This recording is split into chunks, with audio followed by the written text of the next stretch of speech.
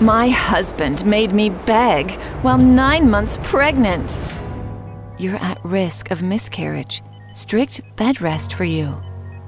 My husband had his own opinion on the matter and a clear cut plan. There's always risk, and beauty doesn't last forever. Go to work! I was hungrier than ever and could barely wait until morning. My wife has to weigh no more than 90 pounds. If you get fat, we'll be penniless. I didn't eat in four days, not to gain weight.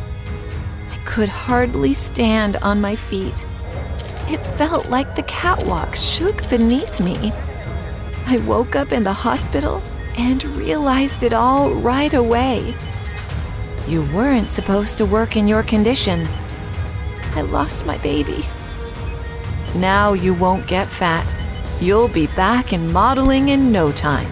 I came home on foot, and no one was waiting for me there. This is my boss. We were preparing a pitch. Ben's boss laughed in my face. Without your baby, we can carry on as usual. I kicked out my husband's lover and boiled with rage. He doesn't like fat people. Get lost. But I like rich people. I lost my baby because I was skinny, and he preferred a voluptuous girl. I was exhausted and broke. Ben took everything with him. I wanted to divorce him and never see him again. Sorry, I don't work for free. Call me when you have money. Throwing Ben's stuff out made me feel a bit better. I needed money, so I started job hunting. I hated modeling after what happened. But apart from a model gig, I wasn't offered a thing. Meanwhile, Ben was doing much better. I'm selling the house to invest in my fiance's business. Your chubby girl won't get my house. I bluffed. He had every chance of making me homeless. I talked the corner store owner into hiring me. But remember, it's harder than strutting the catwalk.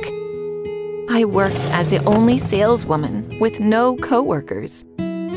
Great job for an almost homeless girl. I rented a room in the attic above the store. This job became my home and an escape from my thoughts. I brought you our baby's stuff. Sell it. You won't need them, and I'll get new clothes for my baby. I went from a successful model to the face of a thrift store brand. I'd never heard so much gratitude in my entire career.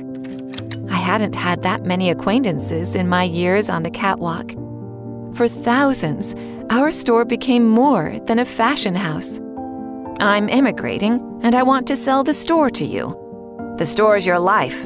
In 10 years, you'll have a chain. I took out a loan and became the corner store owner. I still lived in the attic, and it was now my home. One day, a customer demanded to see me. Give me a discount on these for old time's sake. I hardly recognized this man as my ex husband. I'll give them to you for free, like you gave me our child's clothes. I've done a lot of things wrong, but fate's already punished me. My wife took all my money and eloped with her lover. I know I owe you a massive apology. Let's start over. Your past is no longer in your control but your future is always in your hands. I'm pregnant, and I don't want to lose the baby again because of you. I rushed off for my date with my soon to be hubby. Who was that man you were talking to? An old friend of mine.